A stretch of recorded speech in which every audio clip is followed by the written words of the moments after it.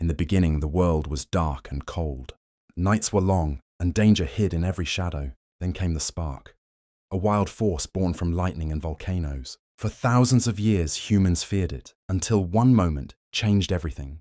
Somewhere deep in a forest, our ancestors watched a burning tree fall. Instead of running, one brave soul stayed. He reached closer, feeling its warmth instead of fear. That was the first step.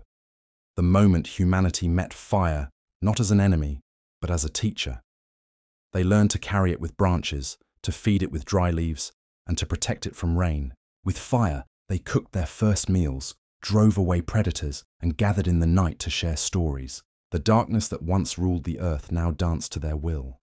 Fire became the heart of every tribe, a symbol of life, protection, and discovery. From the glowing campfires of prehistory to the engines that power our world today, that same ancient flame still burns within us.